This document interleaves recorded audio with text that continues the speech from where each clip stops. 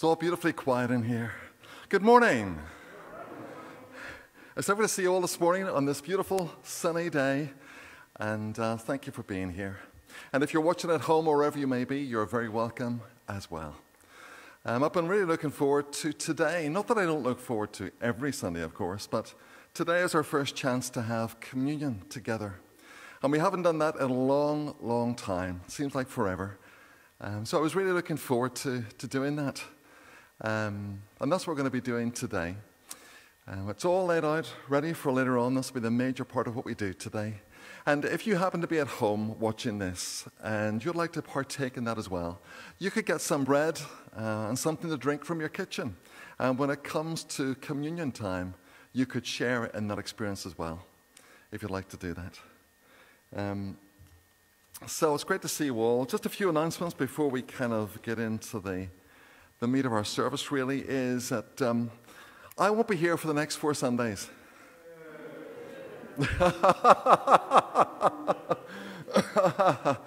um, I regret every Sunday that I'll be missing. Um, no, I do. I'm not really. Well, I'm looking forward to it in one sense, but in another sense, I hate to leave this place, um, especially when good things are happening. Um, but we will be away for the next four Sundays, simply because we have to uh, um, quarantine for a couple of weeks whenever we get back. We'll be in England for a while, and then we've got to do that. Um, but our Wednesday broadcasts that I do, if you tune into the Wednesday broadcast, I'm going to be doing them live on tour around the UK. And uh, so that'll be ex- it'll be exciting. Gwyn's one of my regulars. He keeps sending abuse all the time, uh, which I really appreciate. But we're going to be trying to do that um, as we go around. So, you see, you'll be in my thoughts all the time. Um, during my absence, Andrew Gill, the Minister of Blackrock and Bray, will be looking after any pastoral needs, and his details will be on the website. So if you need a minister, Andrew Gill will be the one to, uh, to talk to. Terry, our wonderful Terry Price, will be taking our service for the next four weeks. So uh, that'll be fantastic. It's always good to know you can leave this place in safe hands that right? Yeah, okay. Good. I think that's all to mention. Yes, it is. Um, again, has anyone had a birthday in the last week or in the week to come? Has anyone had a birthday at all that we can give you a nice badge and pray for you? Anyone at all? Anyone at all? No. Well, that's good. I'll save my badges. Um, last week we had uh, Alan Foster who I didn't realize had a very special birthday. He was 80 last week, on Wednesday, wasn't it, Alan? And uh, so I said, I would have realized it was 80 years old, I would have made more of a song and dance, because he loves my song and dance. But uh, it was good to celebrate. Anyway, I'm going to read some words from a psalm, Psalm 134, a very short psalm. As I read these, I think about a song that we used to sing, and, uh, and that is good. Praise the Lord, all you servants of the Lord, who minister by night in the house of the Lord. Lift up your hands in the sanctuary and praise the Lord. May the Lord, the maker of heaven and earth, bless you from Zion. So let us draw near to this God who is the Lord of David, the Lord of us. He is the Lord of everyone, whether they realize it or not. He is the King. So let's join together to pray, shall we? Let's all pray.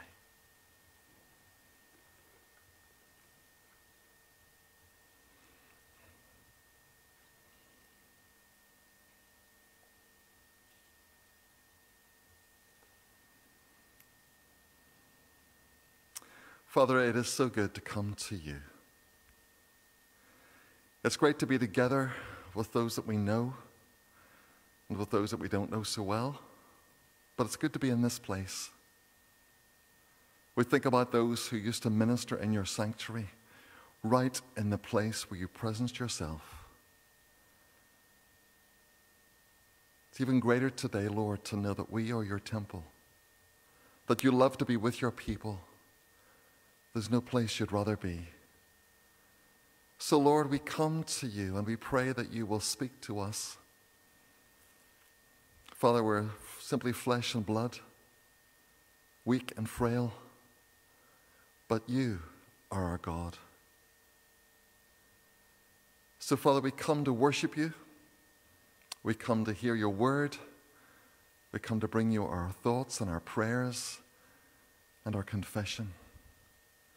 And as we come to this amazing King, let's do that at this moment. In this moment's quietness, let's bring to him the things that we need to say sorry for things we've done and shouldn't have done, things we've said and shouldn't have said, and things we've failed to do and failed to say.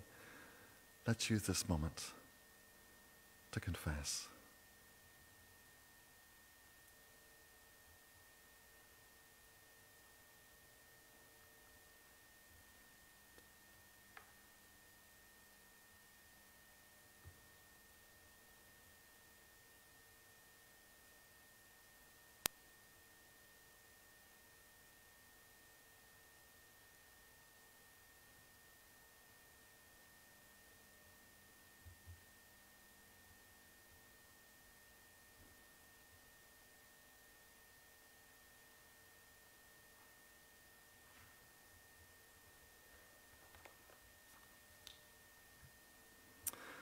Lord, thank you that you hear us. You're always willing to forgive. You're a God who forgives. Make us people who are willing to forgive. So, Father, we draw near to you as your family. And as we do, let's use that family prayer, the prayer that Jesus taught his disciples, as we say together Our Father, who art in heaven, hallowed be thy name. Thy kingdom come. Thy will be done on earth as it is in heaven. And give us this day our daily bread, and forgive us our trespasses, as we forgive those who trespass against us. And lead us not into temptation, but deliver us from evil. For thine is the kingdom, the power, and the glory, forever and ever. Amen. Hostik is going to come and lead us in song, um, King of Kings forevermore.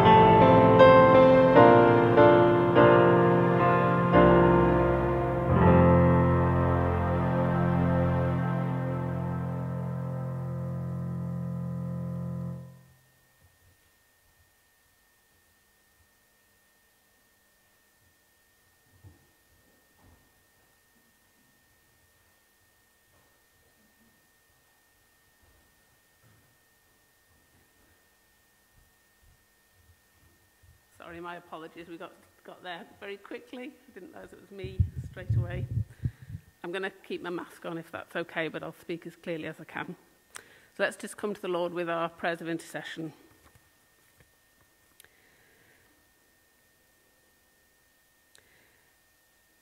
Heavenly Father, we thank you that we can come before you in prayer, that no matter where we are, whether we're in a place of worship or in our own homes or in our car, we can come to you in prayer. Thank you that you are a God who hears and that we can bring to you the things that are on our hearts and the things that concern us. We continue to pray for our country and the world as coronavirus continues to spread around us. Father, we pray with regards our own country at the moment for the schools, children and teachers and classroom assistants, for colleges. Lord, as students seek to get back to study, as children look to get back in, getting back to working together and playing together, as teachers try to implement new rules and ways of doing things, Father, we just pray that you will help all of those involved. For the children and the students, we pray that they would still be able to enjoy their studies, enjoy meeting their friends, that they would um, get back to some semblance of normality. For the few schools we've already heard about, Lord, where there's been um, cases of coronavirus. We just pray for those students who maybe find themselves at home again. And we just ask that you'd help them and give them patience and help them cope. Father, we pray for those in our country who have been hit with financial insecurity because of coronavirus, Lord, as the weeks stretch on. And we just ask you, Father, that for each one of those people, you'd somehow come alongside, Lord, and give them reassurance and hope um, and help them just to feel some measure of stability in all of the uncertainty. We pray for our leaders, national and local, government leaders, health leaders, God, the, our church leaders. We pray for Gary and Dawn. We thank you for their leadership and guidance to us. We thank you for their care of us. We pray that you would continue to encourage them. We thank you for the team of leaders that support them. We just pray that you would continue to be their providers. Father, we continue to pray for any amongst us who are struggling with ill health or family and friends that we're concerned about. And we just ask you, Father, to give us hope in those situations and to work your healing hand Father, we also continue to remember those who still struggle with bereavements that have happened in the last number of months. And where someone is missing a loved one, Father, we just pray that you will come and sustain them. From the well known prayer that Paul prayed for the church in the first century, I've put it into my own words. Father, we pray that you will strengthen us with power in our inner selves, that Jesus himself will dwell in our hearts by faith, that each of us will be rooted in love, that we will be aware how deeply and broadly we are loved, so that we can be filled with what Paul termed the fullness of God. In Jesus' name, Amen.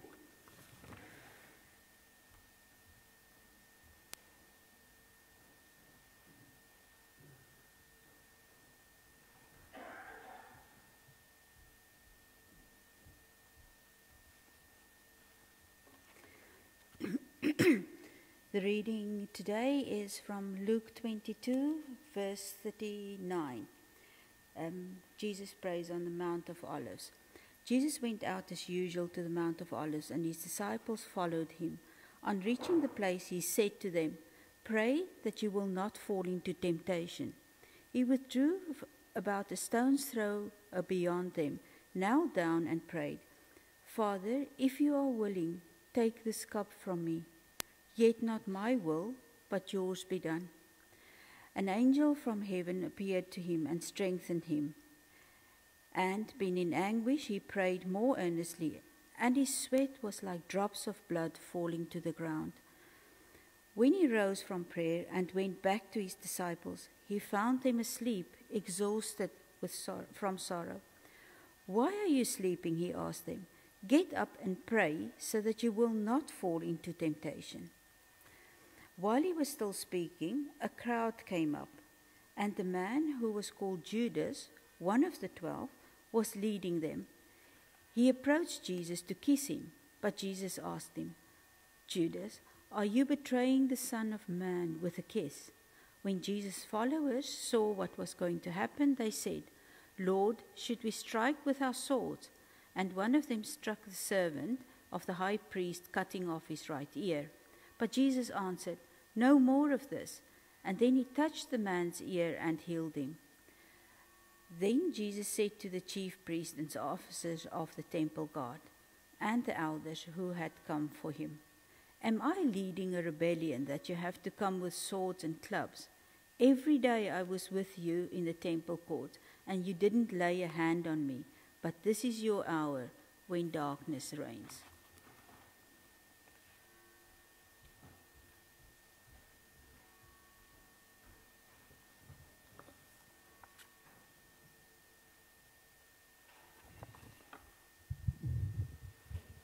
Thank you, Karen. Thank you for that lovely prayer, Sarah. So we're on a, we've been on a journey up all these mountains. I hope you've enjoyed it. I don't know if it was the nine peak challenge or the, the 10 peak challenge or the eight peak challenge. We spent a couple of weeks up some of the challenges like Sinai and Mount Tabor. I wonder which of them made an impression on you the most. Great stories from all those mountains. Today is our last mountain, the final part of the challenge, the final part of the, the excursion before we come maybe back down into the valley. Maybe Terry is going to bring us to some of those Welsh valleys or Israeli valleys or wherever it might be. But today we're on Mount Olivet, or the Mount of Olives, which is eight, at its highest point. It's a number of peaks, but at its highest point is 818 meters tall. tall, but not that tall.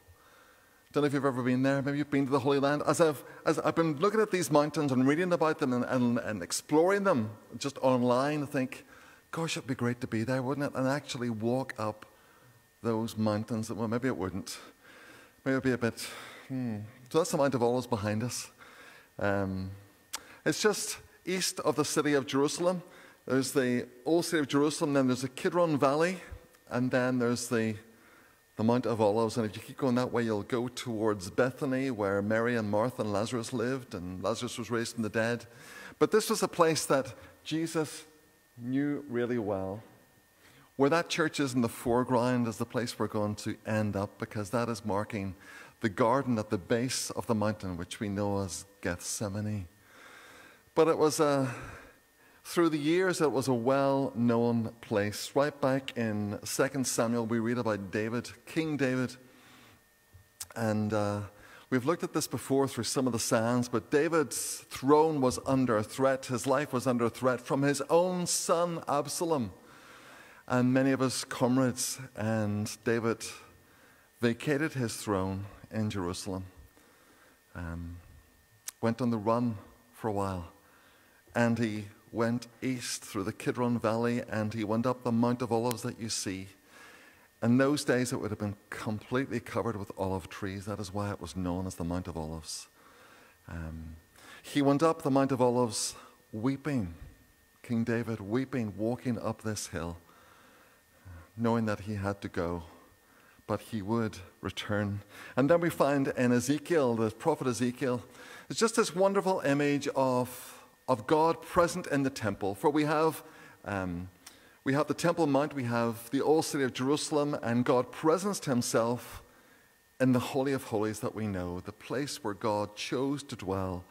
Um, and that's where the Israelites came to worship, came to celebrate three times a year in those festivals. And once a year on the Day of Atonement, the high priest would enter the Holy of Holies, where God's presence was. Of course, the whole universe could not hold God, but he chose in a special way to presence himself in this place for these people. But these people became so sinful, so wayward, and I'm sure we can identify with that personally. But Ezekiel has this image, this picture, this vision of God's presence leaving the temple and moving east and remaining at Mount Olivet. God was leaving the place. Said, if you don't want to worship me in spirit and truth, what is the point of me staying? So, this image that Ezekiel gives us of God leaving the temple, this is unheard of, leaving his city, Jerusalem, and staying over Olivet. So Olivet's had a, a, long history, and then in the New Testament, it is named over and over and over again. It was, it was a, a route from Jerusalem to Bethany, as I said, and Jesus spent a lot of time on this mountain, a lot of time in this place, praying, taking his disciples. Um, and then a few of the key, a few of the key times on this, on this place is, well, Palm Sunday that we know really well, and that triumphal entry. Jesus came on the donkey down Mount Olivet towards Jerusalem. And as he came on that donkey, and there was great celebration, for it was Passover, and there are many people there. We know the story and the palm branches and so on. And there was this wonderful celebration. But as Jesus rounded the hill and as he caught a glimpse of Jerusalem, he didn't celebrate. He wept over Jerusalem. Why did he do that? This is what he says. If you, as he saw Jerusalem, this place that he loved, the holy city, the city of peace, Jerusalem, city of peace. If you, even you, had only known on this day what would bring you peace, but now it is hidden from your eyes. The days will come upon you when your enemies will build an embankment against you and encircle you and hem you in on every side. They will dash you to the ground, you and your children within your walls. They will not leave one stone on another because you did not recognize the time of God's coming to you. Never ends well whenever we reject God. Never ends well. And these people who had rejected him, and yeah, they were cheering as he came, but very soon, just a few days later, they would shout, Crucify him. And Jesus knew that a day would come when Jerusalem would be flattened, and it was. Forty years later, the Romans came, destroyed the temple, completely flattened Jerusalem. So Jesus wept over this city, this beautiful city, the city of peace that knew no peace. So Jesus wept as he came down Olivet. And then during that Passover week, he would go to the temple and teach every day, and each evening he would go back up Mount Olivet to rest, and come back the next day and go up Mount of Olives to rest until Passover night. And that's what we're kind of thinking about as we have communion. He came, of course, and celebrated in the upper room with his disciples the Passover, as all good Jews would. And this would be the last Passover that he would celebrate the Last Supper with his friends, with his disciples. It must have been an agonizing experience for him because he knew what was to come. He knew he would offer his life. He knew that he would die for the sin of the world. And as they celebrated this meal that we will celebrate in just a moment, and after the meal, and Judas went out to betray him. And it was dark, John tells us. Dark physically during the night, but also dark spiritually as Judas went out to betray him. And after the meal, Jesus then takes his disciples to go and pray. And where does he go to? The place that he always went to, out to the Mount of Olives, but to the garden at the base of the Mount of Olives, known as Gethsemane. Jesus went out as usual, Luke tells us, to the Mount of Olives, and his disciples followed him. And on reaching the place, he said to them, Pray that you will not fall into temptation. And he withdrew about a stone's throw beyond them and knelt down and prayed, Father, if you are willing, Take this cup from me, yet not my will, but your will be done. And I love this line an angel from heaven, from heaven appeared to him and strengthened him. And being in anguish, this is the only place that word anguish, agony, is used in the New Testament. He prayed more earnestly and he sweat His sweat was like drops of blood falling to the ground. Of course, we know he went back and saw his disciples who were fast asleep. He says, Waken up and pray that you will not fall into temptation. He went to this place that we know as Gethsemane. It's a word in Aramaic that means oil press. It was the place where the olives were brought and crushed to release the oil that blessed many. And it was here in this place that Jesus would be crushed, physically and spiritually crushed, so that he could be a blessing to many. He'd be squeezed. He would become the Passover lamb who would die for the sin of the world. The very first mountain that we climbed, I don't know if you remember it, was um, Ararat. We thought about Noah's Ark, how it rested on the mountain range of Ararat. And as the waters receded and Noah sent out a dove, you remember, brought back a, an olive leaf. That was our first part of the journey, an olive leaf. And here we are on our last mountain. Not one olive leaf, but a mountain of olive leaves and olives.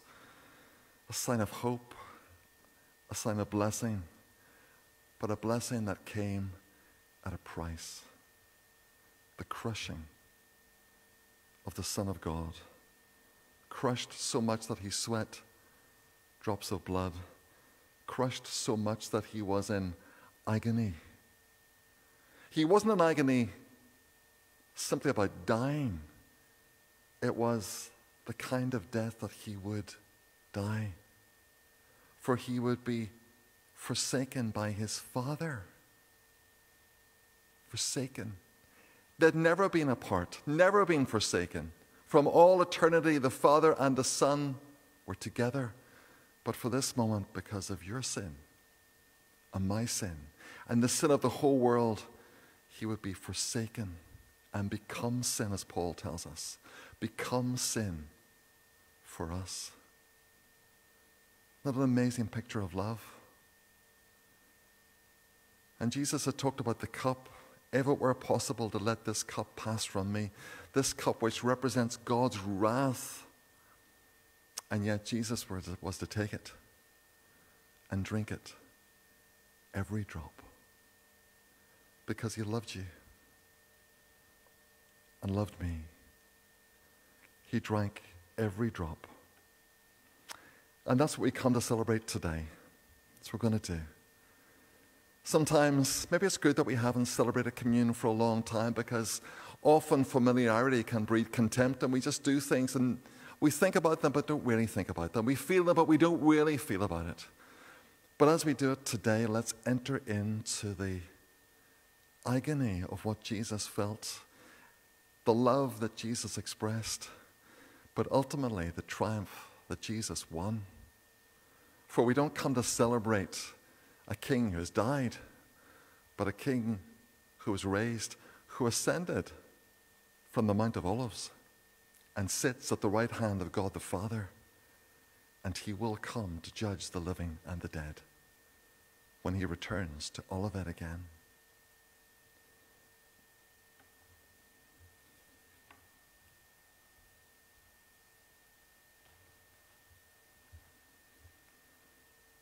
So that's what we're going to do.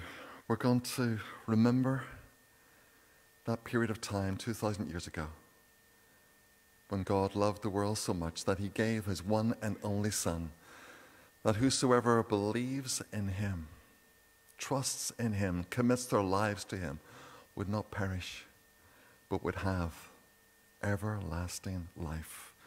Not just, as we said before, the length of that life, but the quality that is eternal life. So, we're going to say the Apostles' Creed together a statement of our faith, a kind of summary of all that the, apostles taught, written for us. And as we approach his table, we want to stand and say, This is what we believe. So, shall we stand? The words will be up here.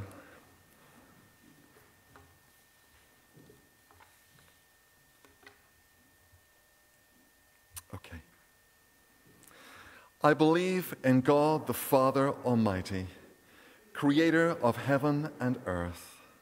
I believe in Jesus Christ, his only Son, our Lord, who was conceived by the Holy Spirit, born of the Virgin Mary, suffered under Pontius Pilate, was crucified, died, and was buried. He descended to the dead. On the third day, he rose again from the dead. He ascended into heaven and is seated at the right hand of God the Father Almighty. From there, he will come to judge the living and the dead. I believe in the Holy Spirit, the Holy Catholic Church, the communion of saints, the forgiveness of sins, the resurrection of the body, and the life everlasting. Amen. Please be seated.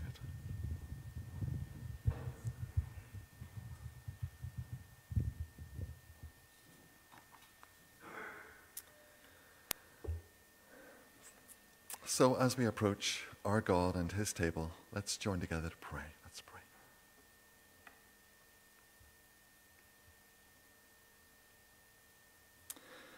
So, Father, we come to you, our Almighty God, our loving God, the one who created all things, the one who sustains all things, the one who has given us a way a way to be forgiven, a way to be reconciled, a way to be redeemed through the Redeemer, your Son, our Lord, Jesus, the Christ. Father, we have already confessed our sin, and we pray that you will continue to search our hearts and know us. Show us how we can better live for you, how to believe, how to follow how to love, how to serve, how to sacrifice. Father, we thank you that you're the amazing God who loves us. Thank you, Lord, that you know our weaknesses better than we know them. That you love us better than we know. That your plans for us are good. And Father, we pray that as we come to your table, that you will bless us as we remember and as we celebrate, Father, we pray that you will come close to us because we ask you in the precious name of Jesus. Amen.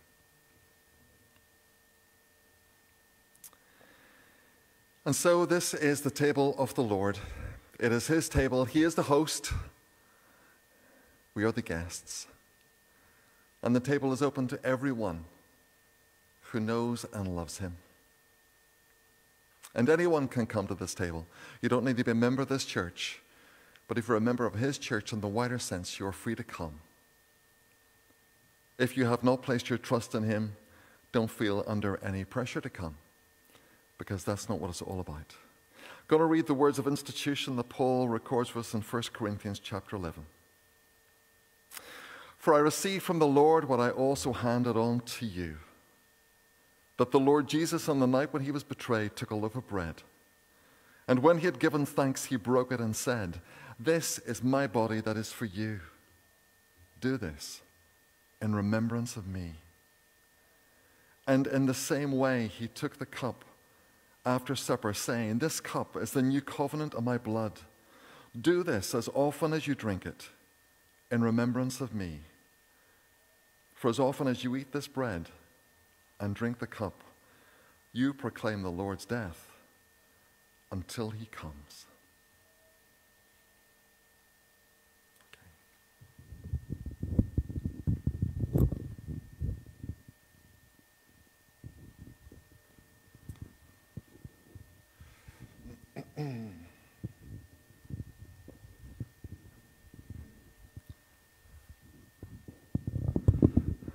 Seamlessly done. So we want to give thanks for this bread and for this wine. So should we do that? Let's pray for this. Father, we thank you for these common things, something to drink and something to eat.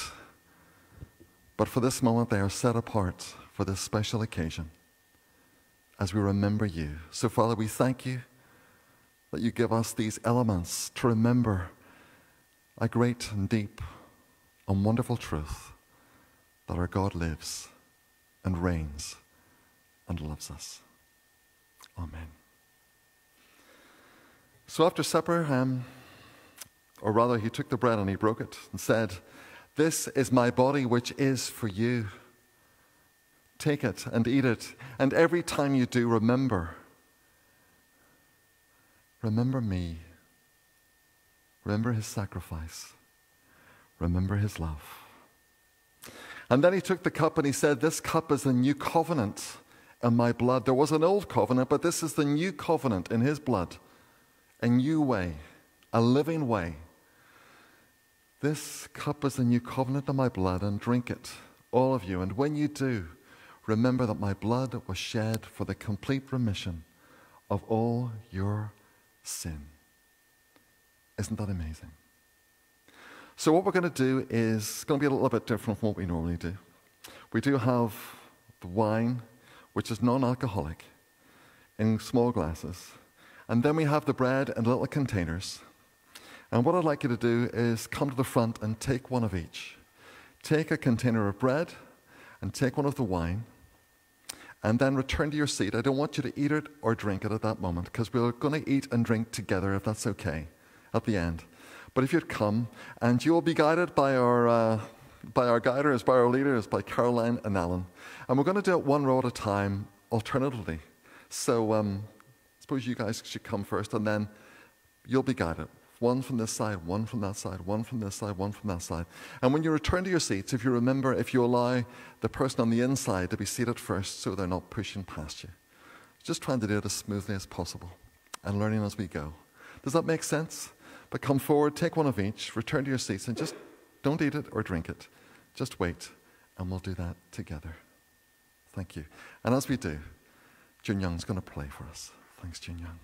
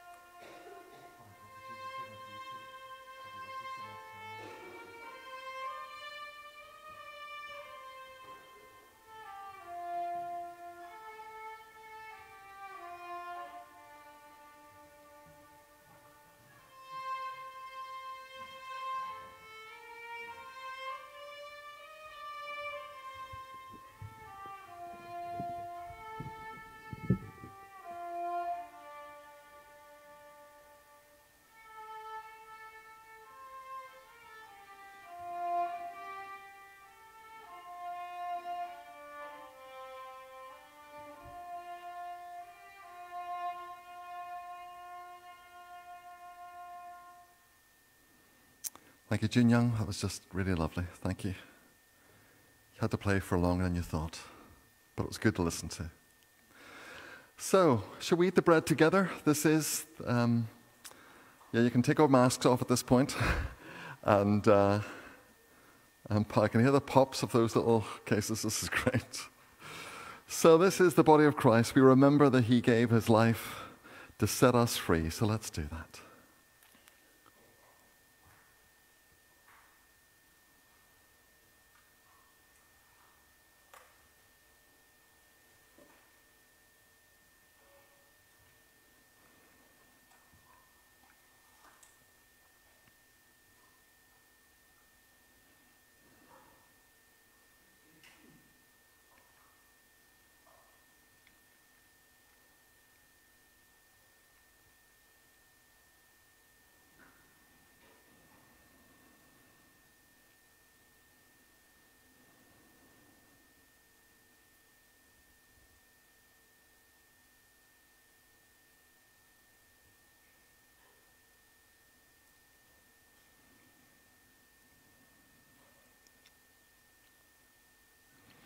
And then we take the wine,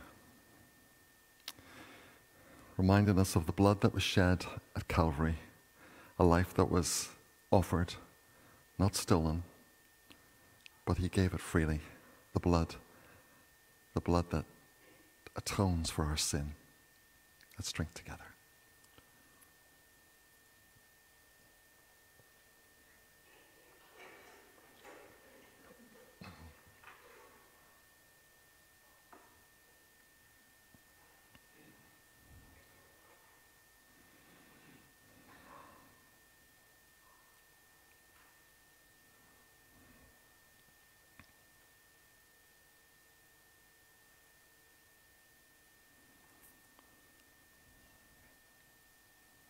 Father, please let us never forget how much we are loved.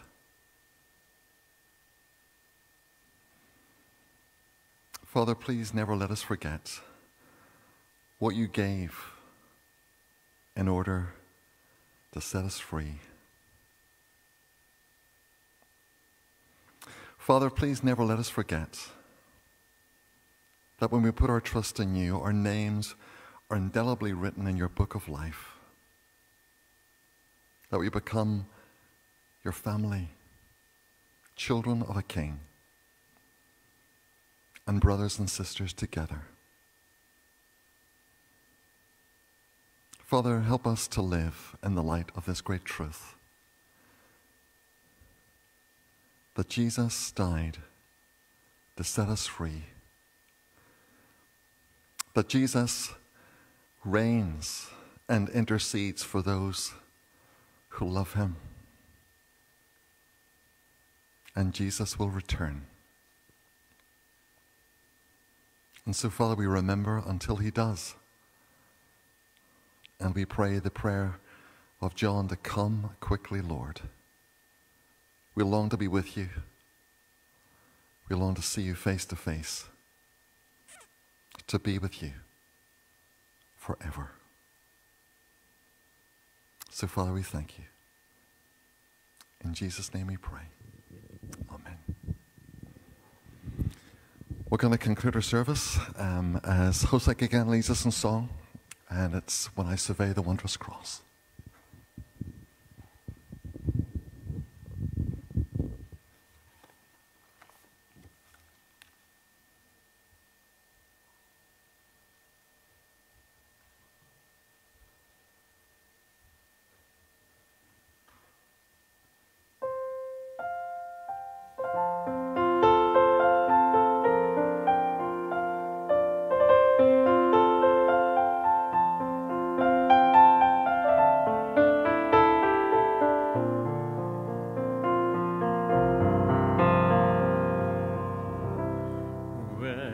myself in